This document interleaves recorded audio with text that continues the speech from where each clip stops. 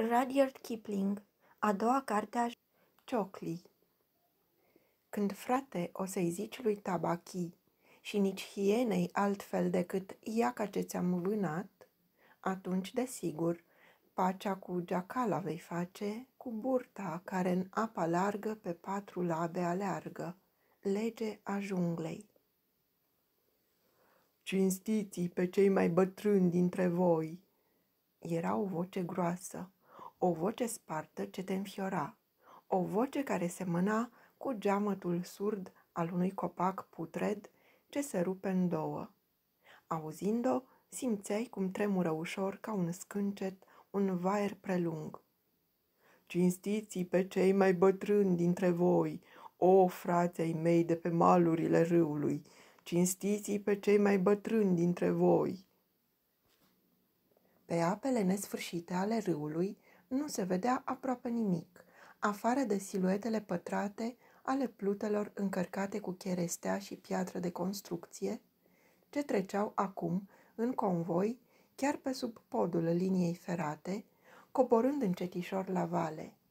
Cârmacii se proptiră cu toată puterea în prăjini, ca să ferească un banc de nisip ridicat de valuri, în susul apei, aproape de piciorul podului și chiar în clipa în care treceau cele trei ceamuri din fruntea convoiului, glasul fioros de adinauri se auzi din nou. O, brahmani de pe malurile fluviului, cinstiți pe cei mai bătrâni dintre voi, cruțați pe nevolnici. Unul dintre plutași se ridică de unde era așezat și întinse brațul, rostind ceva ce nu prea semăna a binecuvântare. Apoi, cele trei ceamuri trosnind din toate încheieturile, se pierdură în tulbureala asfințitului. Apele întinse ale acestui mare fluviu indian, ce semăna mai mult cu un șirac de lacuri decât cu o apă curgătoare, sclipeau în soare ca o oglindă, în care se reflectau strălucirile roșietice ale cerului. Iar înspre malurile joase și umbrite, valurile se împodobeau cu lumini galbene și pete de purpură. În vremea marilor ploi, golfuri mărunte se înșirau pe maluri, dar acum gurile lor uscate se căscau părăsite mult deasupra nivelului apei. Pe malul stâng, aproape în dreptul podului de cale ferată, se afla un sat cu colibele lui de pământ, de cărămidă sau de nuiele împletite, a cărui uliță principală, pe care se vedeau acum cirezile întorcându-se în țarcuri, dădea de-a dreptul în apă. Ea se sfârșea cu o scară cam grosolană de cărămidă, pe care țăranii, veniți să se spele, coborau treaptă cu treaptă până la valurile fluviului. Acesta era așa numitul Got, al satului Got. Noaptea se lăsa pe negândite asupra semănăturilor de linte și de orez sau pe plantațiile de bumbac aflate mai la vale și peste care apele fluviului se revărsau în fiecare an. Ea învăluia cu umbre negre stufărișul de la cotitura apei și se furișa pe nesimțite în încălcitele pășuni care se întindeau în dosul trestilor adormite. Papagalii și coțofenele, venite ca în fiecare seară să se adape la râu, țipând, bătând din aripi și făcând mare tămbălău, se întorseseră de mult pe lanuri ca să se aștearnă pe somn în cuiburile lor, întâlnind în zbor stolurile de vampiri ce ieșeau la vânat. Spre fluviu coborau acum, ca niște nori zburători, păsările acvatice, țipând și croncănind în liniștea înserării, dornice să ajungă cât mai repede la cuiburile lor pitite în pădurile de trestii. Erau acolo cârduri greoaie de gâște, cu capul butucănos și aripile negre, lișițe, rățoi sălbatici și rațe cu clopoței și, aici colo, se mai zărea și câte un flamingo. În urma zburătoarelor venea un cocor aghiotant, ce zbura ca și cum fiecare din bătăile domoale de aripă ar fi fost cea din urmă. Cinstiți pe cei mai bătrâni dintre voi, o brahman de pe malurile râului, cinstiți pe cei mai bătrâni dintre voi. Aghiotantul, întoarse capul în direcția de unde venea glasul și coborâ țanțoș pe bancul de nisip din josul podului. Abia acum se putea vedea bine ce mare pușlama era. Privit din spate, avea ce e drept o înfățișare respectabilă, căci era înalt aproape de un stat de om și aducea puțin cu un preot plin de demnitate, dar cam chel. Din față însă era cu totul altceva, căci capul și gâtul erau jumulite a la Ellis Lupar, un tip de bătrânel cinic și ridicol. Ba, i se mai vedea târnând sub bărbie o scârboasă traistă de piele, în care dosea tot ce putea fura cu ciocul lui uriaș și coroiat. Avea picioarele lungi, slabe și descărnate, dar și le mișca cu mare bătare, băgare de seamă și le privea cu multă admirație în timp ce își netezea domol penele cenușii din vârful cozii. După ce își termină această îndeletnicire, zvârli o privire pe deasupra umărului și rămase nemișcat în așteptare. Un biet șacal râios, care le trase toată ziua de foame, rătăcind pe malurile fluviului, își ciuli urechile, dădu din coadă și o porni, bălăcindu-se prin băltoace, spre aghiotantul ce părea că dormitează. Era ființa cea mai josnică din neamul ei. Nu că, nu că un șacal cum se cade ar face mai multe parale, dar ăsta, jumătate cerșetor, jumătate criminal, era din cale afară de ticălos, scociorând cât era ziua de lungă prin cele mai scârboase gunoaie. Era sfâșietor de timid și nebunește de îndrăzneț, veșnic înfometat și de o mare viclenie, care de cele mai multe ori nu era de folos. Uf, zise el, scuturându-se amărât când ajunse la mal. Dar ar râi acea roșie în toți câinii din sat. Port de trei ore atâtea mușcături de câini câți purici am în spinare. Numai pentru că am îndrăznit să mă uit, băgați bine de seamă, am zis să mă uit la o gheată nenorocită aruncată într-un grajd. Doar nu fi vrând să mă hrănesc numai cu noroi. Și se scărpină pe după urechea stângă. Eu am auzit, spuse aghiotantul cu un glas ce semăna a scârții de fierăstrău, înțepenit într-o scândură prea groasă. Am auzit, zic, că mai era și un cățeluș nou născut în gheata despre care vorbești. Să auzi una și să știi e alta, răspunse șacalul, ce se învățase să vorbească în proverbe, tot ascultând sporovoiala oamenilor din sat ce se adunau în fiecare seară în jurul focului. Foarte adevărat ce vorbești și tocmai de aceea am avut eu grijă de el în timp ce câinii erau ocupați cu alte treburi. Erau tare ocupați, spuse șacalul.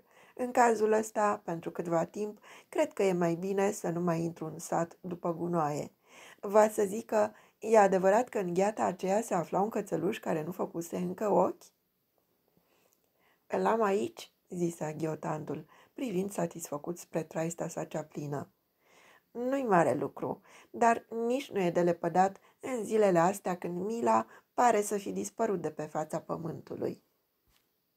Ehe, lumea s-a schimbat mult, parcă ar avea inimă de piatră, gemu șacalul. Și, după ce privi cu mare băgare de seamă unda încrețită a apei, adăugă. Viața e grea acum pentru noi toți și nu mă îndoiesc că însuși admirabilul nostru stăpân, fala gotului și mândria fluviului, Minciuna, lingușirea și șacalul se trag din aceeași mumă, spuse aghiotantul, fără să se fie adresat cuiva anume, căci nici el însuși nu era un mincinos de lepădat atunci când avea de ce să o facă. Da, fala gotului, repetă șacalul, ridicând glasul. El însuși, nu mă îndoiesc, își dă seama că hrana s-a împuținat simțitor de când cu constru- construirea podului. Pe de altă parte, cu toate că n-aș îndrăzni să rostesc astfel de vorbe de față cu prea cinstitul său obraz, căci este atât de înțelept și de plin de virtuți, ceea ce, din păcate, nu s-ar putea afirma și despre mine, încât când șacalul însuși zice că e cenușiu, cât de negru trebuie să fie, mormăi aghiotantul. căci nu prea putea ști ce avea să urmeze. Încât hrana nu-i lipsește niciodată, așa că... În clipa aceea, din apă, se auzi un hârâit ușor, ca atunci când o barcă, ajunsă la mal, se lovește de prundul albiei. Șacalul se întoarse iute și privi în față. Totdeauna e mai bine să privești în față, pe acela pe care ultimele sale cuvinte îl priveau direct.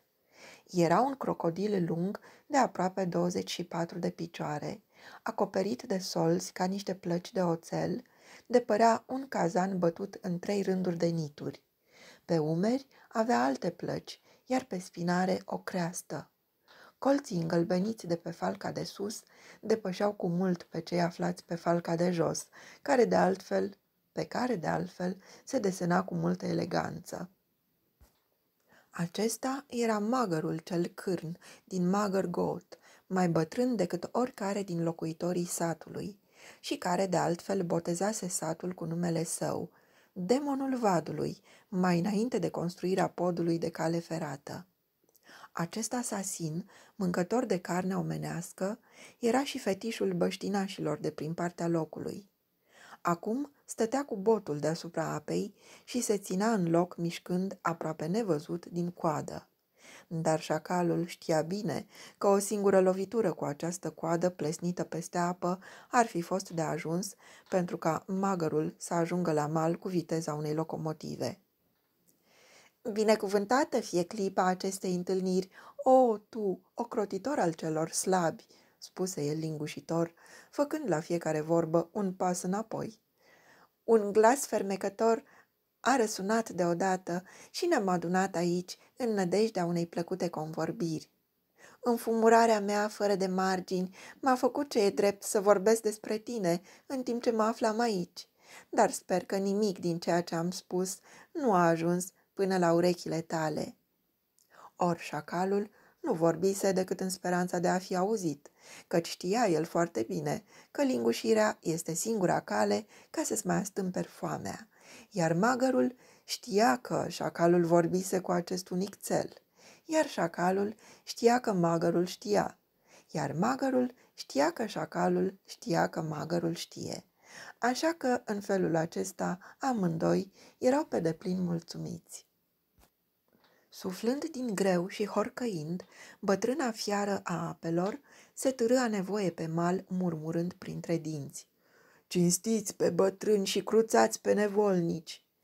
Zicând acestea, ochii ei mici și negri străluceau ca doi cărbuni aprinși, sub pleoapele umflate, în mijlocul capului său triunghiular, în timp ce cu picioarele ei strâmbe își împingea înainte trupul uriaș, umflat ca un butoi. Crocodilul se opri deodată și oricât de obișnuit ar fi fost șacalul cu vicleniile lui, chiar și acum, pentru a suta oară, nu se putu stăpâni să nu se înfioare, văzând cu câtă ipocrizie știa magărul să se așeze în așa fel încât să pară un trunchi de copac aruncat de ape pe țărm. Crocodilul avea într-adevăr mare grijă să se așeze în tocmai în unghiul pe care l-ar fi format triunghiul vreunui copac adus la mal într-un anumit loc și pe un anumit timp. Toate acestea însă erau o simplă obișnuință, căci magărul nu venise la țărm de asta dată de nevoie, ci numai de plăcere. Dar se știe că un crocodil nu e niciodată sătul, iar dacă șacalul s-ar fi lăsat convins de marea asemănare a crocodilului cu copacul, nu ar mai fi apucat să filozofeze în această privință. Eu, dragul meu, n-am auzit nimic din ce ați vorbit, spuse magărul, închizând un ochi, pentru că îmi intrase apă în urechi și eram mort de foame. De când cu construirea podului de cale ferată, oamenii din satul meu au încetat să mă mai iubească și asta îmi frânge inima. O, oh, câtă nerușinare!" spuse șacalul. Un suflet atât de ales ca al tău dar, la urma urmei, toți oamenii sunt la fel. N-ai dreptate, dragul meu. Oamenii se deosebesc foarte mult unii de alții, spuse încetișor magărul. Unii sunt mai slabi decât scândurile bărcilor, iar alții mai grași ca niște șac, ca niște câini tineri.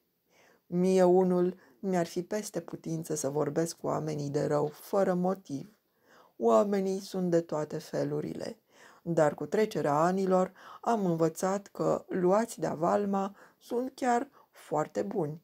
Bărbați, femei și copii nu am să le fac nicio imputare și pe urmă nu uita că cel ce batjocorește lumea azi, mâine de lume va fi batjocorit. Lingușirea e cea mai E mai rea decât o cutie de tinichea goală în burtă.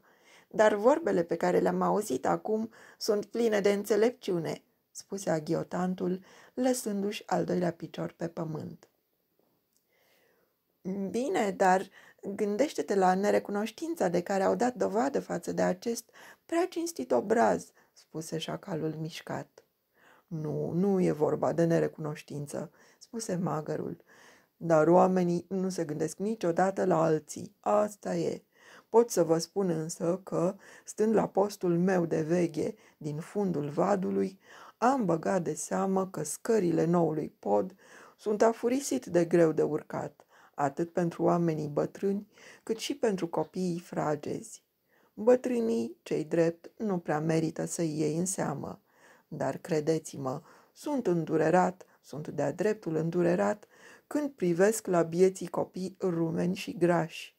Totuși cred că, după această minunăție de pod, vom vedea din nou picioarele pârlite și goale ale oamenilor mei, bălăcind prin vad, cum făceau mai înainte. Atunci bătrânul magăr va fi din nou cinstit cum se cuvine. Eu sunt sigur că am văzut ghirlande mari de gălbenele plutind azi după amiază, pe unda apei, spuse aghiotantul. Ghirlandele de gălbenele sunt un semn de mare cinste în toată India. Greșeală, greșeală, dragul meu. Era doar nevasta neguțătorului de dulciuri, care își pierde vederea pe zi ce trece și nu mai poate face deosebirea între un trunchi de copac și între mine, magărul gotului. Am văzut-o cum zvârlise ghirlande de flori în apă, căci mă aflam tocmai la cotul fluviului și, dacă ar fi făcut un singur pas, aș fi putut să-i arăt deosebirea. Recunosc însă că nu avea niciun gând rău și trebuie întotdeauna să ținem seama de scopul cu care se face darul. La ce-ți pot folosi cununile de gălbenele când ești silit să scurmi prin gunoaie?" spuse șacalul, puricându-se, dar fără să-l piardă nicio clipă din vedere, pe ocrotitorul celor slabi.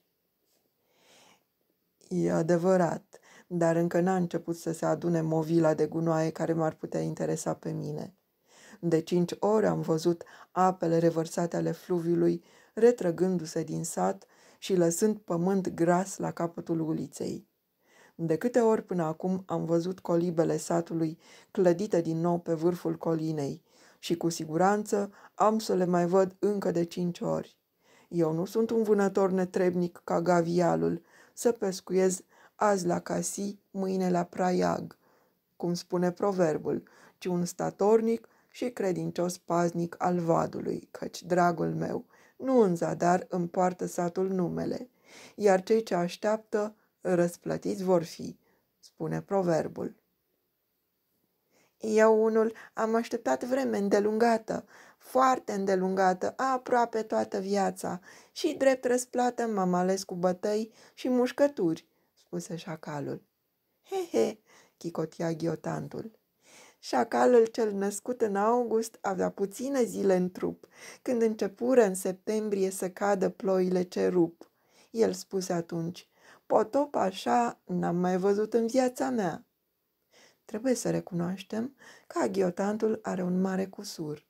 În clipa în care te aștepți mai puțin, îl apucă tot felul de cârcei în picioare, ba junghiuri, ba mâncărim la picioare și, cu toate că nu pare cu nimic mai puțin virtuos decât ceilalți cocori, care cu toții au o înfățișare foarte respectabilă, îl vezi deodată că prinde să joace nebunește pe cataligele neîndemânatice, cu aripile abia desfăcute, clătinându-și capul cel chel în sus și în jos, într-un fel tare caragios, în timp ce, din pricini pe care numai el le cunoaște, își însoțește atacurile cele mai înverșunate cu observațiile cele mai răutăcioase. Dar, după ultima clipă a reprezentației sale, rămâne dintr-o dată țeapăn, ca și cum nimic nu s-ar fi întâmplat, imobil și demn, de zece ori mai aghiotant ca până atunci. De aceea, șacalul, deși mai trăise trei primăveri, plecă umilit capul, căci niciodată nu trebuie să iei în seamă batrocura unei ființe înarmate cu un cioc lung de un metru, pe care îl poate arunca în tocmai ca pe o suliță. Aghiotantul era el o mare pușlama, dar șacalul era una și mai mare. Trebuie să trăiești mult mai, mult mai mult, mai înainte de a ști multe, spuse crocodilul. Și aș putea adăuga, dragul meu, că bieții șacali sunt un lucru foarte obișnuit, ceea ce nu se poate afirma și despre un magăr ca mine. Cu toate acestea, nu sunt deloc mândru și trufaș de felul meu, căci trufia înseamnă pieirea. Dar să știi de la mine, fiecare viețuitoare își are scrisă soarta și împotriva sorții nu se poate ridica nimeni dintre cei ce învață, merg sau aleargă. Eu unul sunt mulțumit de soarta mea, cu un nițeluș noroc, cu un ochi ager și cu puțină cumpătare, mai înainte de a intra în vadul cu apele scăzute, se pot face multe în viață. Am auzit că odată însuși ocrotitorul celor slabi era să o pățească, spuse șacalul cu răutate. E adevărat, dar și atunci norocul a fost de partea mea. Era pe vremea adolescenței mele și foamea a fost de atunci în trei rânduri. Ce de lume mișuna atunci în apele din dreapta și din stânga gangelui. Da, eram pe atunci tânăr și nechipzuit, iar când veni potopul, cine era mai bucuros ca mine? Mă mulțumeam cu foarte puțin. Satul era înnecat până la acoperișuri. Eu înnotam deasupra gotului și mersesem așa departe până la semănăturile de orez, care erau acoperite de un mâl bun și gras. Îmi amintesc că, în seara aceea, găsisem o pereche de brățări.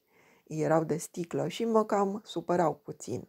Da, da, niște brățări de sticlă și, dacă nu mă înșală aducerile aminte, mai era și o gheată. Ar fi trebuit să las amândouă ghetele, dar mi-era foame. Mai târziu am învățat cum trebuie să procedez în felurite împrejurări. Da, chiar așa. După ce m-am ospătat bine, m-am pus pe odihnă. Dar, tocmai când mă pregăteam să mă întorc la fluviu, băcai de seamă că apele scăzuseră mult, așa că a trebuit să merg pe jos, în mijlocul uliței din sat. Da, da, chiar mie mi s-a întâmplat așa ceva. Cum să spun, coboram tocmai pe ulița satului, când văzui că tot poporul meu, cu preoți, cu femei, cu copii, venise pe uliță, iar eu îi priveam cu bunăvoință, căci în mâl nu te poți bate cu lumea. Puneți mână pe topoare și omorâți-l, spuse un plutaș, căci acesta este magărul din fundul vadului. Nu cumva să faceți una ca asta, spuse brahmanul. Nu vedeți că el gonește înaintea lui apele revărsate ale fluviului? El este salvatorul satului nostru. Auzind aceste vorbe, oamenii îmi aruncară gerbe de flori, ba unul a avut chiar fericita idee să-mi pună un ied în cale. A, cât de bun, cât de minunat este un ied!" spuse șacalul. Are păr, prea mult păr, iar când se întâmplă să găsești unul înnecat, de cele mai multe ori are sub piele un cârlig în formă de cruce. Dar de asta dată primi iedul ce-mi dă dură în dar și coborâi spre got astfel cu toate onorurile. Mai târziu, soarta îmi scoase în cale pe plutașul care dorise să mă omoare cu toporul. Pluta lui a fost prinsă de un banc de nisip, de care voi nu vă puteți aminti, căci a trecut prea multă vreme de atunci. Nu toți cei cu care stai de vorbă sunt șacali?" făcu jignit aghiotantul. E vorba oare de bancul ce s-a format în locul unde s-a înnecat uh, pluta încărcată cu piatră în anul când a fost seceta cea mare, un banc lunguieț de nisip pe care nu l-au putut spăla nici trei rânduri de inundații? Erau două bancuri, răspunse magărul, unul în partea de sus, iar celălalt în partea de jos a fluviului. Da, ai dreptate, uitasem. Erau despărțite de o șuviță de apă care a secat mai târziu, spuse cocorul, care se fălea cu memoria lui. De bancul cel din josul fluviului s-a lovit barca celui ce-mi dorea atâta bine. Omul a țipise tocmai și astfel, numai pe jumătate treaz, sări în apă până la brâu. Nu greșesc, nu, nu greșesc, numai până la genunchi, ca să-și desprindă barca iar barca s-a desprins într-adevăr, ca să se lovească iar, de data aceasta, de bancul vechi, căci așa era cursul apei în vremea aceea. L-am urmărit îndeaproape, căci știam eu bine că aveau să vină oamenii ca să o scoată la mal. Și au venit? întrebă șacalul, înfiorat de emoție. Vânătoarea întreprinsă la o asemenea scară îl copleșea. Au venit și aici și ceva mai la vale, N-am mers prea departe, dar asta tot a însemnat vreo trei pe zi. Trei plutași bine hrăniți. Și afară de ultimul, și asta numai din vina mea, nu s-a auzit niciun țipăt care să dea de știre celorlalți. Asta zic și eu, vânătoare cinstită, dar câtă dibăcie și câtă înțelepciune îți trebuie ca să o poți duce până la capăt. Nu cine știe ce dibăcie micuțul meu, ci multă judecată. Căci să știi de la mine, în viață, judecata este ca sarea în orez, așa zic și plutașii, și eu unul judec întotdeauna bine lucrurile. Gavialul, vărul meu, mâncătorul de pește, mi-a povestit ce grea îndeletnicire este vânătoarea de pește, cât de mult se deosebește un vânat de celălalt și cât de bine trebuie să-i cunoască, și la oaltă și pe fiecare în parte.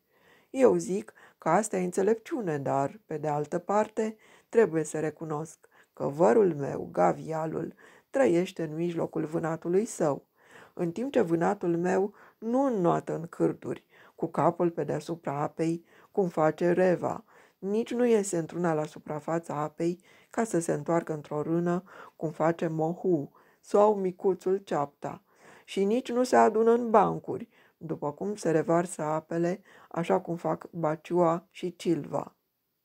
Toate animalele pe care le pomenești sunt foarte bune la gust, spuse aghiotantul, clămpănind pofticios din ciocul uriaș.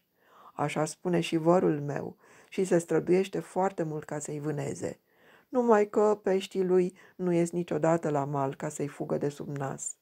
Vânatul meu e cu totul altfel își duce viața pe uscat, în case și alături de turme. Prin urmare, eu trebuie să știu tot ce face, tot ce are de gând să facă, pentru că, așa cum zice proverbul, având trompa și coada, să-mi închipui cum e elefantul. De se agață o ramură înflorită sau un belciug într-o poartă, bătrânul magăr știe că în casa aceea s-a născut un băiețel care într-o bună zi va coborâ să zburde pe malurile gotului. Iar dacă o tânără copilă e pe pragul de a se mărita, bătrânul magăr o află într-o clipă, căci vede șuvoiul neîntrerupt de oameni care îi aduce daruri de tot felul. Iar mai târziu, el știe că fecioara însăși va coborâ spre fluviu ca să se scalde înainte de nuntă, iar el, bătrânul, e acolo la pândă, în adâncul vadului. Dacă din întâmplare fluviul și-a schimbat albia și slobozește noi pământuri de cultură, acolo unde nu era decât nisip odinioară, magărul o știe neîntârziat. La ce-ți folosește să știi toate astea?" spuse șacalul. Fluviul și-a schimbat de nenumărate ori albia, chiar și în timpul scurtei mele vieți. Într-adevăr, apele din India își mută albia în fiecare an și capricioase se mută la depărtări de câteva mile, înecând semănăturile de pe un mal și acoperindu-l pe celălalt cu mâl vâscos și fertil. Nu se află pe lume învățăminte mai folositoare, spuse magărul, căci pământuri noi înseamnă certuri noi. Magărul o știe, o, da, magărul o știe foarte bine. De îndată ce apele încep să se retragă, el se furișează în ochiurile de apă despre care oamenii cred că nu ar putea ascunde niciun câine și pitit acolo așteaptă. Curând apare un țăran. Cu voce tare își face planul că aici va însămânța castraveți, colo bostani și își face fel de fel de socoteli cu pământul cel nou pe care fluviul i l-a dat în dar. Cu vârful piciorului pipăie mulțumit mâlul gras și fierbinte. Apoi, iată că vine altul, zicând că va semăna ceapă, morcovi și trestie de zahăr în cutare și cutare loc. Atunci, cei doi se înfruntă ca niște plute fără cârmaci, ce sunt gata-gata să se ciocnească și se privesc fioros, rotindu-și crânce în ochii sub uriașele lor turbane albastre. Bătrânul magăr vede și aude. Își spun între ei frate și se îndepărtează ca să statornicească hotarele noilor pământuri. Atunci magărul pornește în grabă pe urmele lor, târându-se nevăzut în mâl. Și iată-i deodată că sar la ceartă, își smulg turbanele, ridică toroi panele și, în cele din urmă, unul din ei cade pe spate în noroi, în timp ce fratele lui o rupe la fugă. Iar când se întoarce, totul e terminat de mult și doar bâta ferecată de bambus a celui dispărut e singura mărturie a celor întâmplate. Și totuși, ei nu au nicio recunoștință pentru bătrânul magăr. Din potrivă, imediat ce se văd, răcnesc iarăși unii la alții. Săriți, ucigașii! Și încep din nou să se bată cu ciomegele, câte douăzeci de fiecare parte. Oamenii mei sunt oameni buni, jați din susul colinelor, malvahi de la bet, așa că nu se păruiesc de florile mărului. Iar când ciomăgeala s-a sfârșit, bătrânul magăr așteaptă undeva în josul fluviului, ascuns în tufele de chicar, departe de privirile oamenilor. Atunci iată că vin jații cu umerii largi, opt sau nouă la un loc, purtând mortul pe o targă sub lumina palidă a stelelor. Sunt bătrâni cu barba cenușie, cu vocea la fel de spartă ca a mea. Fac un popas și aprind focul. Ah, ce bine cunosc eu acest foc! Și se pun pe înghițit tutun și dau din cap, așezați jur împrejurul mortului de pe targă. Vorbesc în șoaptă și spun că vor veni englezii cu legea lor și că vor face dreptate cu ajutorul unei spânzurători. Atunci, prietenii mortului strigă, să fie spânzurat și își spun povestea iar de la început, o dată, de două ori, de douăzeci de ori, în timpul acestei nesfârșite nopți. În cele din urmă, unul dintre ei spune, lupta a fost cinstită, să cerem ucigașului un preț de răscumpărare a sângelui ceva mai mare decât acela cu care ne-a ispitit el și să nu mai vorbim de asta. Apoi încep să se cerovăiască din cauza prețului, căci mortul fusese om voinic și lăsa pe urma lui o seamă de copii. În sfârșit, mai înainte de zori, îl apropie de foc și îl prăjesc puțin, după cum e obiceiul. Apoi mi-l lasă mie și despre el cel puțin pot să fiu sigur că nu va trâncăni. Ah, ah, copiii mei! Magărul o știe, știe el foarte bine că jații malvahi sunt un popor de treabă. Sunt prea zgârciți și numai a rare ori mâna lor se deschidă ca să-mi arunce și mie vreo fărâmă de mâncare, croncănia ghiotantul. Nu prea-și pierd vremea lustruind coarnele vacilor, după cum spune proverbul, și, în definitiv, ce se mai poate paște în pășunea pe unde a trecut un malvah? Ah, cât despre mine, eu chiar pe ei îi pasc, spuse magărul. Ei bine, în Calcuta pe vremuri, continua ghiotantul, se aruncau toate cele din stradă și noi n-aveam decât să scotocim și să alegem ce era mai bun. Ei, dar astea erau timpuri bune. În ziua de azi, străzile lor sunt curate și semenii mei au început să pribegească de pe meleagurile acelea. Să fii curat e mare lucru, dar să mături, să cureți și să stropești strada e curată nebunie. Un șacal din țara de jos mi-a povestit că la Calcuta toți șacalii erau grași ca vidrele în vremea ploilor, spuse șacalul, căruia numai la acest gând îi lăsa gura apă. Da, dar pe acolo se mai află și oameni cu fața albă, englezii, care în bărcile lor aduc cu ei de undeva câini mari și grași, ca nu cumva șacalii să se îngrașe prea mult, spuse aghiotantul. Vă să zic că englezii ăștia au sufletul la fel de hain ca oamenii de prin părțile noastre? Trebuia să o știu, căci nici pământul, nici cerul, nici apa nu se îndură de un biet șacal. Nu de mult, după trecerea ploilor, am văzut cortul unui om alb. M-am apropiat pe furiș, ba chiar am reușit să-i smulg un căpăstru galben nou-nouț, pe care l-am și mâncat. Din păcate, oamenii albi nu se prea pricep să tăbăcească pielea, căci am avut după aceea niște dureri îngrozitoare de stomac. Și totuși ai avut mai mult noroc decât mine, spuse aghiotantul.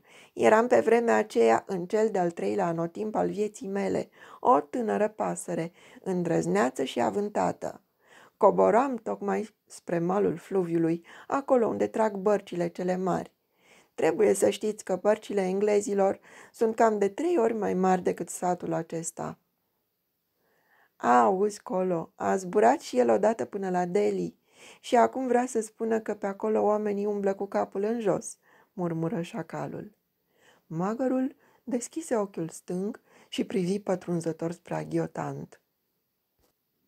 Cu toate acestea, e adevărat, stărui pasărea uriașă. Un mincinos nu minte decât atunci când vrea să fie crezut. Dar când nu ai văzut asemenea bărci, nu poți crede în adevărul celor ce vă spun. Așa mai merge, spuse magărul. Ei, și? Din fundul acestei bărci, ei scoteau ceva alb, care în puțină vreme se prefăcea în apă. Câte o bucată din asta se fărâma și se împrăștia pe malurile fluviului, iar restul era pus în mare grabă într-o casă cu pereții groși. Dar un plutaș, râzând în hohote, luă o bucățică nu mai mare ca un cățeluș și mi-o aruncă. Eu am obiceiul, ca de altfel toți semenii mei, să înfulec orice fără să stau prea mult pe gânduri și înfulecai și această bucată pe nerăsuflate. Pe dată am simțit cum mă cuprinde o răceală îngrozitoare, care pornea din gâtlej și se scurgea până în picioare, iar plutașii se prăpădeau de râs, uitându-se la mine în timp ce eu, bietul, îmi pierdusem până și glasul. Credeți-mă, niciodată n-am mai simțit asemenea frig. Și începui din nou să mă zbengui țipând cât mă lua gura împotriva prefăcătoriei ce domnește pe acest pământ. Și în timpul acesta plutașii se tăvăleau de râs tot uitându-se la mine. Dar lucrul cel mai ciudat în toată povestea asta, lăsând la o parte frigul acela ciudat, a fost că, după ce am isprăvit cu văicărelile, n-am mai găsit nimic în gușă. Aghiotantul făcuse tot ce-i fusese cu putință ca să descrie impresiile pe care le avusese după ce înghițise un bloc de gheață de vreo șapte ocale, adus de pe lacul Wenham, de un vapor american, pe vremea când la Calcuta nu existau încă fabrici pentru așa ceva. Dar pentru că el nu avea de unde să știe ceva să zică gheață, iar magărul și șacalul nici pe atât, povestea asta nu stârni mare vâlvă. Orice, spuse magărul, închinzând la, o, la loc ochiul stâng, este cu putință. Orice iese dintr-o barcă de trei ori mai lungă decât magăr got, căci oricum satul meu nu e un sat mic. Deodată se răspândi în văzduh un șuierat prelung și trenul de Delhi trecu fulgerător cu toate ferestrele luminate, iar umbra vagoanelor se vedea târându-se după el pe apele fluviului. Apoi trenul se făcu nevăzut în zare, iar huruitul asurzitor de fierărie dispăru și el. dar magărul și șacalul erau atât de obișnuiți cu acest spectacol, încât nici măcar nu întoarseră capul. Dar ăsta, ce credeți, e un lucru mai puțin minunat decât o barcă de trei ori mai mare ca Mugger Goat? spuse pasărea ridicând ochii spre pod. Eu am văzut când l-au turat copilul meu. Sub ochii mei s-au înălțat piatră cu piatră stâlpii cei înalți, iar de se întâmpla să cadă careva din oameni, deși erau foarte siguri pe picioare, dar în fine se întâmpla, eu stăteam întotdeauna gata. Nici nu apucaseră să termine primul pilon și nimeni nu mai cobora în josul apei ca să caute pe cei necați și să-i îngroape. Asta a fost o altă împrejurare în care i-am cruțat de multă osteneală.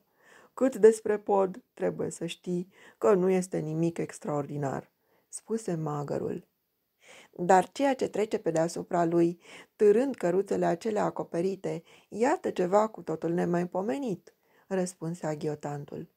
Fără îndoială, e vreun neam de bivol necunoscut până azi, dar va veni ziua când își va pierde și el echilibrul și va cădea așa cum cad și oamenii. Atunci bătrânul magăr va fi gata. Șacalul îl privi pe aghiotant și aghiotantul pe șacal. Dacă erau convinși de ceva, apoi erau de faptul că locomotiva putea fi orice pe lumea asta, numai bivol nu.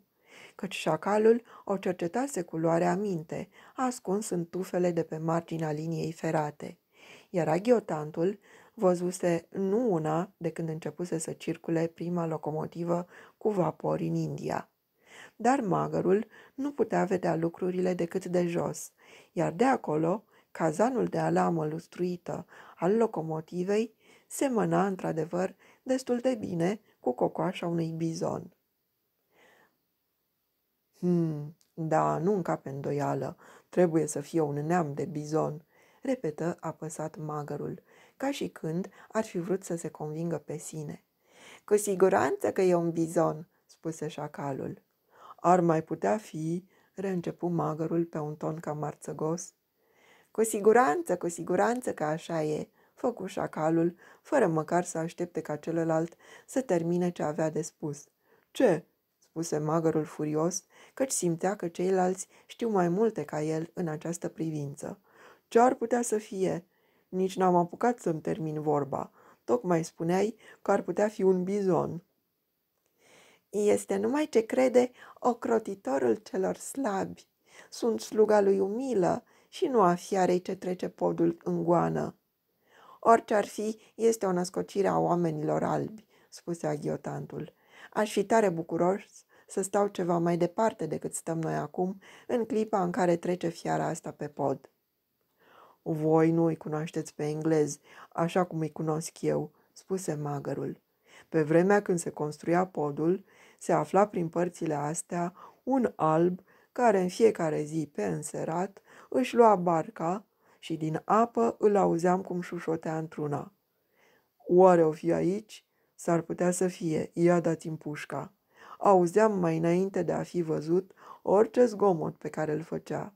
Auzeam cum se frământa și lovea în pereții bărcii, care trosnea din toate încheieturile, tot plimbându-se în susul și în josul fluviului. De îndată ce îi culegeam vreun lucrător, economisindu-i astfel banii pe care i-ar fi cheltuit cu arderea lui, eram sigur că aveam să-l văd coborând înspre got și răcnind cât îl lua gura că mă va ucide, scăpând pentru totdeauna oamenii de persoana mea. Auzi, să mă ucidă pe mine magărul din Mugger Goat. Pe mine? Ceasuri întregi, dragii mei, ceasuri întregi înnotam pe sub barca lui, auzindu-l cum trage în trunchiurile copacilor. Iar când socoteam eu că era obosit, ieșeam deasupra apei și începeam să clămpănesc din fălci chiar pe sub nasul lui. După ce s-a terminat podul, albul a plecat. Trebuie să știți că toți englezii vânează așa, afară doar când sunt vânați. Cine ar putea să vâneze oameni albi? întrebă șacalul, emoționat din calea afară. Acum nu-i mai vânează nimeni, dar pe vremea mea le-am venit eu de multe ori de hac. Îmi amintesc și eu câte ceva despre această vânătoare. Eram tânăr atunci, spuse aghiotantul, clănțănind din cioc cu înțeles. Mă statornicisem pe meleagurile astea și satul meu se clădea din nou, tocmai pentru a treia oară, dacă mi-amintesc eu bine, când vărul meu, Gavialul, îmi aduse vestea că mai sus de Benares apele sunt în creștere. La început nu prea am avut chef să mă urnesc, căci vărul meu, care e mare mâncător de pește, nu prea știe să deosebească ce e rău de ce e bine. Din fericire, în aceeași seară, i-am auzit pe oamenii mei stând, stând la sfat și din vorbele lor m-am încredințat că trebuie să fie adevărat. Bine, dar ce spuneau? făcu șacalul. Au spus că trebuiau să spună au spus ce trebuiau să spună ca să mă facă pe mine, magărul got, să împărăsesc apele și să o pornesc. Am plecat astfel noaptea, folosindu-mă de cele mai mici șuvițe de apă ce mi ieșeau în cale. Dar asta se întâmpla rare ori, căci tocmai începuseră căldurile și apele se caseră mult. Mă târam pe drumuri înnecate de praf, mă furișam prin ierburile înalte și în bătaia lunii urcam încet pe coama dealurilor. A trebuit chiar să mă cațăr și pe stânci, copii, auziți ce a trebuit să fac. Am trecut astfel albia secată a râului Sirhind, înainte de a ajunge la rețeaua de râulețe care se vărsa în Gange. Și iată că mă aflam la o lună depărtare de poporul meu și de fluviul în care trăisem. Și toate astea mi se păreau ceva nemaipomenit. Și ce ai mâncat pe drum?" Întrebă șacalul, care avea inima în stomac și nu era câtuși de puțin impresionat de călătoria lui Magăr Got pe uscat. Ceea ce am găsit, vere, spuse magărul cu glas tărăgănat, apăsând pe fiecare cuvânt. În India nu prea se obișnuiește să-i spui cuiva vere, dacă nu cumva s-a statornicit vreo legătură de rudenie între tine și cel cu care vorbești.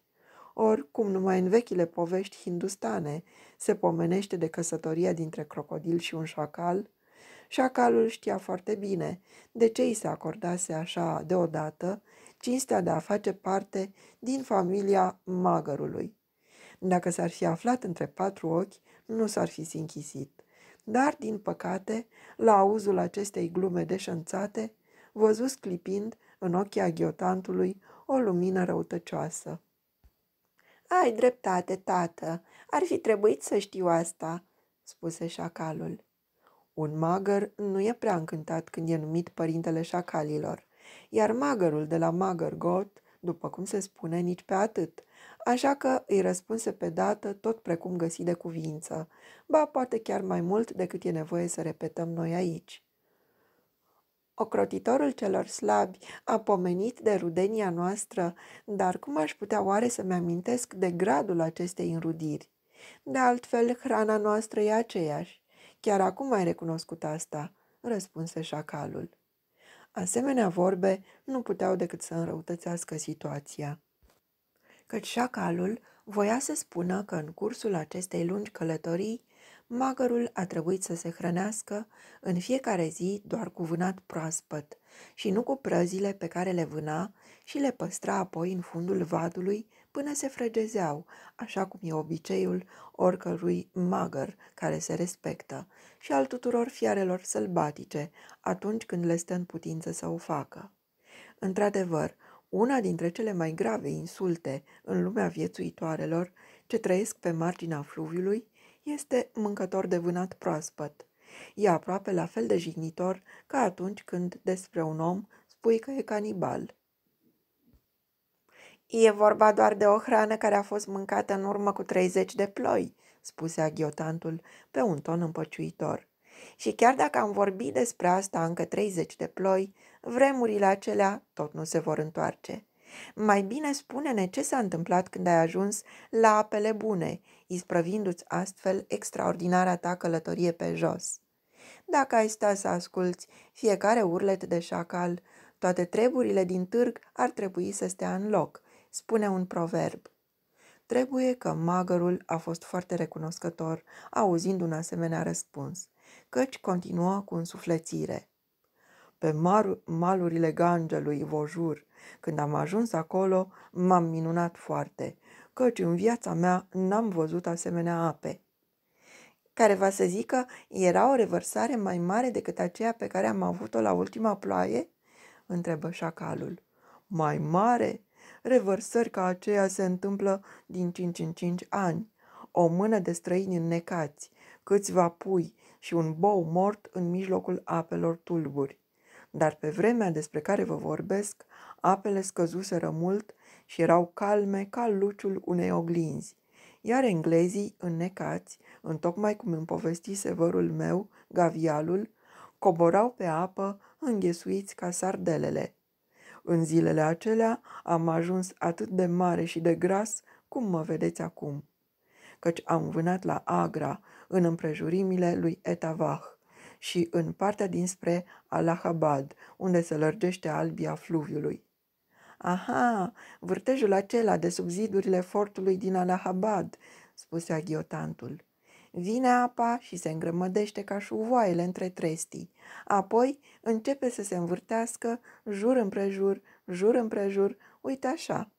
Și cocorul începu să joace din nou cu și mai mult foc, în timp ce șacalul îl privea cu pismă, căci el nu apucase anul acela îndepărtat despre care era vorba, anul revoltei. Magărul urma. Da, da, aproape de Allahabad. Nu făceam decât să stau liniștit în apa leneșă a fluviului și să-mi aleg un stârv din cele 20 care pluteau pe lângă mine. Și, pe deasupra, englezii nici nu erau încărcați cu juvaierii cale, nu purtau nici inele în nas, nici belciuge la picioare, cum fac femeile din satul meu. Căci, după cum spune proverbul, cine podoabe îndrăgește, cu salbă de ștreang sfârșește. În vremea aceea, toți magării din toate apele se îngrășară peste măsură. Dar soarta mea a vrut ca eu să devin cel mai puternic dintre ei. Umbla pe atunci zvonul că englezii vor fi aruncați în fluviu și pe malurile Gangelui, vă jur, noi am crezut că vorbele astea sunt adevărate. Mai ales când am coborât în josul fluviului, n-am mai avut niciun motiv să cred că la mijloc ar fi o minciună. Și doar am coborât dincolo de Monghir și de mormintele ce străjuiesc fluviul. Cunosc locul, spuse aghiotantul. Cam de atunci Monghirul e un oraș mort, căci între zidurile lui puțini oameni mai locuiesc acum. Apoi m-am întors din nou în susul fluviului și înnotam alene în plimbare, când deodată, ceva mai sus de Monghir, văzui o barcă ce cobora în grabă, plină de oameni albi și toți vii. Erau, după câte mi-amintesc, mai toate femei, alungite la urma, la umbra unei pânze, întinse pe niște prăjini și plângeau de ți se rupea inima. Pe vremea aceea nimeni nu cuteza să tragă cu pușca asupra noastră, căci noi eram păzitorii fluviului și apoi armele aveau de lucru într-altă parte. Le auzeam ziua și noaptea bubuind undeva departe, pe uscat, când vântul aducea zgomotele pe deasupra apelor.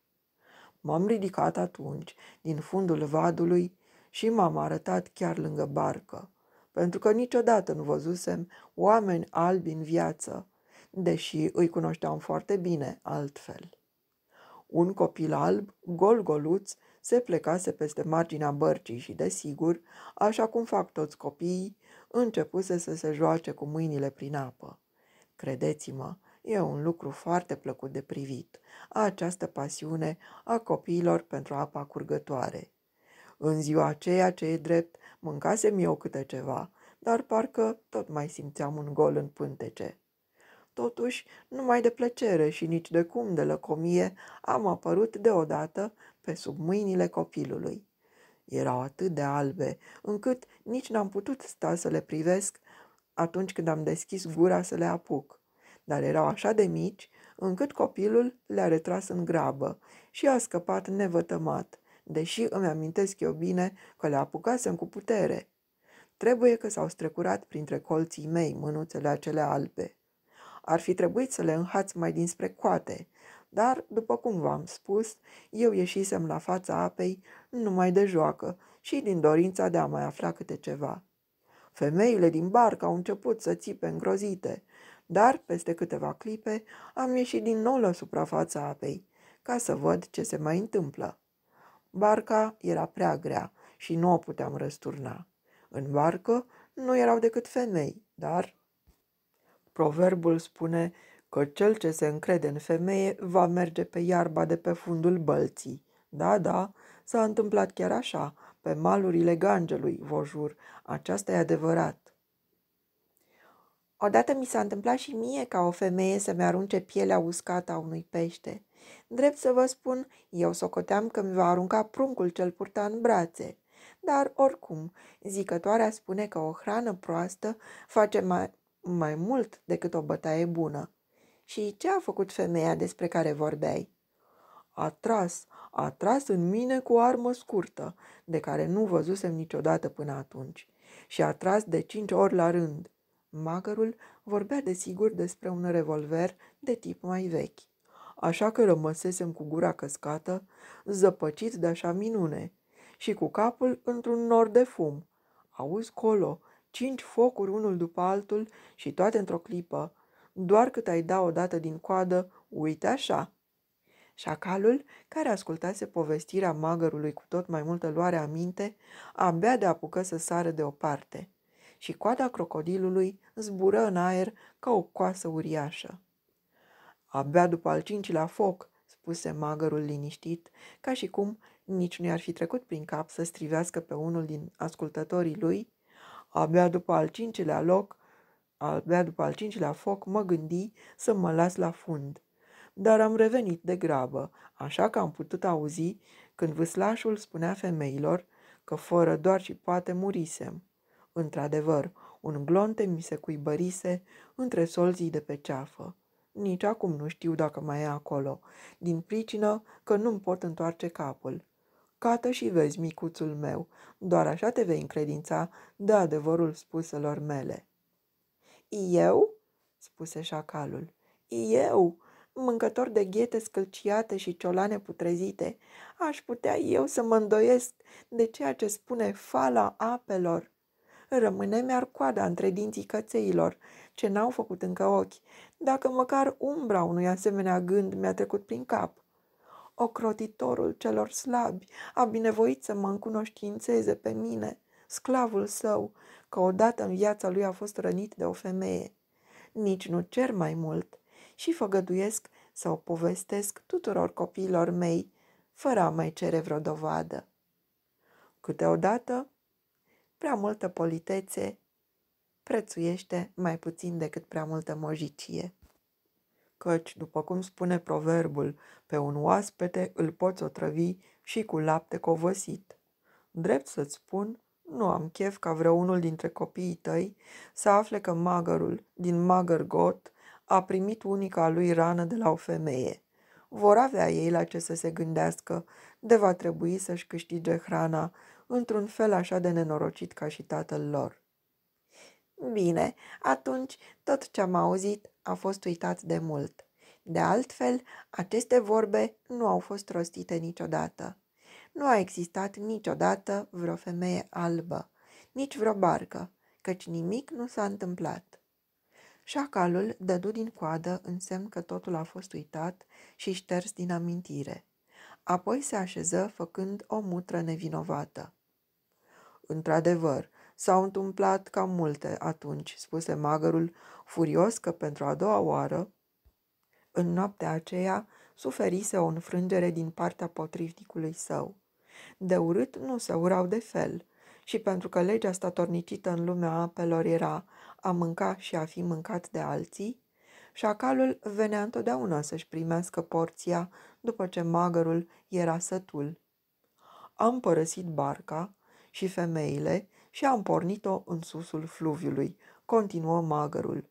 Dar, după ce ajunsei la Arah, ba chiar ceva mai sus, băgai de seamă că pe fluviu nu mai plutesc englezi morți.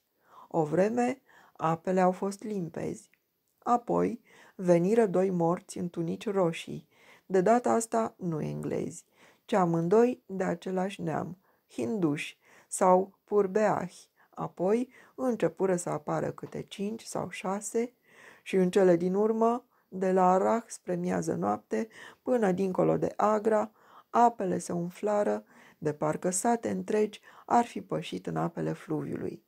Și veneau așa, din toate părțile, unul după altul, cum se scurg buștenii după marile ploi. Iar când creșteau apele, se ridicau deodată cu toții de pe bancurile de nisip unde zăceau. Când scădeau apele, târau cu ele morții de-a lungul câmpiilor, de-a lungul junglei, de parcă i-ar fi tras de părul lor lung. Toată noaptea am auzit bubuind focurile de armă și spre ziua, bocănit de picioare omenești încălțate, ce treceau râul prin vaduri și scârțâit de roți pe nisipul de pe fundul albiei.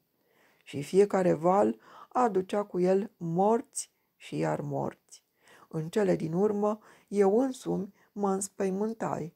Dacă asemenea grozăbii, grozăvii se pot abate asupra oamenilor, cum va mai scăpa oare magărul din magăr got?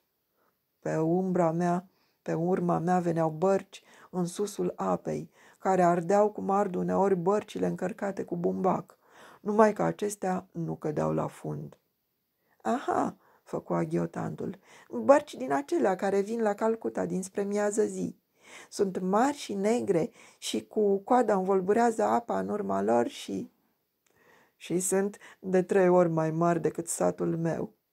Bărcile despre care vă vorbesc eu erau joase și albe. Învolburau apa jur împrejur și nu erau mai mari decât se cade să fie niște bărci despre care vorbește cineva care spune adevărul. Bărcile astea m-au înspăimântat și de aceea părăsi locurile acelea pentru a mă întoarce aici, unde ne aflăm acum, și veni așa, ascunzându-mă ziua și mergând pe jos noaptea, dacă se întâmpla ca apele să fie scăzute și să nu pot înnota. Mă întorsei la satul meu, dar nu mai nădăjduiam să găsesc pe cineva în viață. Și, totuși, poporul meu trăia, își lucra pământul, se mâna, se cera și se foia încoace și încolo pe ogoare, întocmai ca vitele pe care le avea. Și în fluviu mai rămăsese tot așa de multă mâncare, făcu șacalul. Mult mai multă decât aveam trebuință. Chiar și eu, care nu mă hrănesc cu nămol.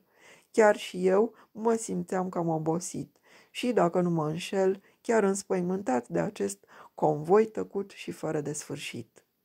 Am auzit pe cei din satul meu zicând că toți englezii erau morți și totuși cei ce coborau pe fluviu cu fața în sus sau cu fața în apă nu erau englezi și poporul meu băgă de seamă acest lucru.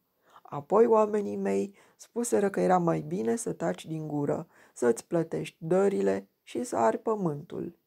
După un timp, apele se curățară, iar cei ce coborau pe fluviu nu erau decât oamenii înnecați de pe urma revărsărilor. Deși hrana nu mai era chiar atât de ușor de găsit, tot nu aveam încă de ce mă plânge. Câte un omor pe aici, pe acolo, nu-i lucru de lepădat, dar până și magărul se satură câteodată, cum spune cântecul. Minunat! Nu s-ar putea ceva mai minunat, spuse șacalul. Îmi pare că m-am îngrășat numai așa, ascultând cum ne vorbești despre atâtea bunătăți.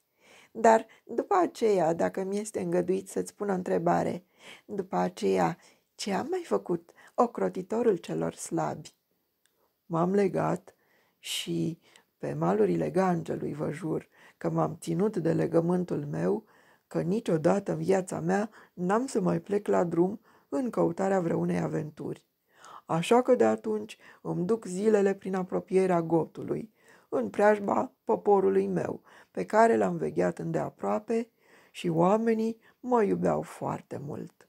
Era de ajuns să-mi arăt chipul pe deasupra apelor și îi vedeam cum se grăbesc să zvârle în fluviu gerbe mari de gălbenele. Da, da, soarta a fost bună cu mine. Toți cei de pe fluviu și de prin împrejurimile lui sunt îngăduitori și respectă un bătrân ca mine, numai că... Nimeni nu e fericit din cap până în coadă, spuse aghiotantul cu bunăvoință. Dar ce-i lipsește oare magărului din magăr got? Copilașul acela alb care mi-a scăpat, spuse magărul oftând din greu. Era tare mic pe atunci și totuși nu l-am uitat. Sunt bătrân acum, dar mai înainte de a muri, aș vrea să mai încerc ceva nou. E adevărat că ăștia sunt oameni cu mersul greoi, guraliv și fără minte, și n-ar fi mare isprave pentru mine. Dar mi-aș aminti de vremea de odinioară, de zilele când stăteam ascuns acolo, mai sus de Benares. Iar dacă mai trăiește cumva copilul acela, își va aminti și el. Poate că acum, pe malul cine știe cărui fluviu, povestește cum și-a strecurat el cândva mânuțele din gura lui Magăr, din Magăr Got. Cine știe dacă nu trăiește tocmai ca să povestească această întâmplare. Soarta a fost bună cu mine și totuși, în visele mele, mă tulbură adesea amintirea acestui copil alb, a plecat peste marginea bărcii. Crocodilul căscă și-și pocni fălcile. Și acum vreau să mă odihnesc și să cuget în tihnă. Așa că stați liniștiți copiii mei și respectați pe cei bătrâni. Se întoarse cu greutate și se târâ până în vârful colinei de nisip, în timp ce șacalul și aghiotantul se retraseră la adăpostul unui copac prăbușit în apropierea podului de cale ferată. Halal trai, sătul și fără de griji, rânji șacalul, privind întrebător la pasărea care se uita la el de sus din înălțimea la care se afla. Și ai băgat de seamă nici o singură dată nu a găsit de cuvință? Să-mi dezvăluie măcar un loc unde aș putea afla ceva de alegurii. Cu toate acestea, eu unul l-am încunoștințat de o sută de ori, oricând era ceva bun de înfulecat în josul râului. Cât de adevărat e proverbul care grăiește că pe șacal și pe bărbier îi uiți de îndată ce ai aflat de la ei toate noutățile. Vezi bine, acum s-a dus să se culce. Arrah! Cum ar putea oare vâna un șacal alături de un crocodil? Se mira aghiotantul cu dispreț. Când tâlharul de drumul mare și hoțul de buzunare fac tovărășie, nu e greu să prevezi păgubașul. Șacalul clefăi nerăbdător din fălci și tocmai se pregătea să se culce, încovrigându-se la rădăcina copacului, când deodată își ciuli urechile și privi printre ramurile îngrămădite înspre podul ce se afla aproape deasupra capului său. Ce s-a mai întâmplat?" făcu aghiotantul, bătând neliniștit din aripi. Așteaptă și ai să vezi. Suntem chiar în ochii lor și vântul bate dinspre noi, dar nu pe noi ne caută oamenii ăștia. A, nu erau decât oameni. În cazul ăsta, eu unul n-am de ce mă teme. Toată India mă venerează ca pe un sfânt. Într-adevăr, cocorul aghiotant, ca agent al sănătății publice, este un funcționar de prim rang și în această calitate are voie să umble în tot locul, după bunul său plac. Așa că nici al nostru nu se clinti din loc. Cât despre mine, nu merit mai mult decât o lovitură de picior, spuse șacalul și se puse din nou să asculte. Auzi pașii ăștia? urmă el. Ăsta nu-i zgomot de picioare de sculțe, ci pașii unui alb încălțat. Ia ascultă! Acolo sus, un zgomot de fier care s-a ciocnit de fier. Ăștia se englezii, amice, știi, oameni cu mersul greoi și fără minte, care vin acum să-i zică două vorbe dulci magărului nostru. Atunci trezește-l, mai adineauri cineva îl numea ocrotitorul celor slabi și acest cineva semăna leit cu un șacal înfometat. Vărul meu n-are decât să-și păzească singur pielea. Mi-a spus-o doar de atâtea ori că de oamenii albi nu trebuie să se teamă niciodată și niciun locuitor din Magergot nu ar cuteza să-l atace. Vezi, am știut eu bine că era o pușcă. Acum, de vrea norocul, vom avea de mâncare chiar mai înainte de ziua. Căci pe uscat nu prea aude bine și pe deasupra, de data asta, nu mai e vorba de o femeie. Sus, pe pod, țeava puștii luci pentru o clipă în bătaia lunii. Magărul se odihnea pe bancul de nisip nemișcat ca umbra lui.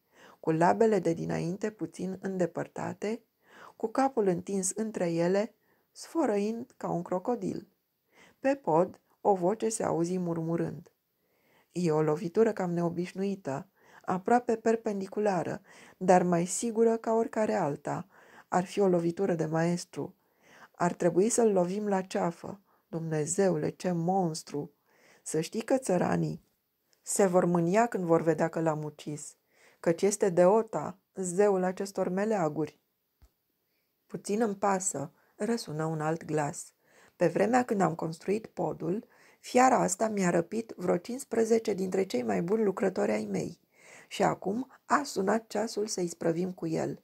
Săptămâni de-a rândul l-am urmărit din barcă și nu i-am putut veni de hac.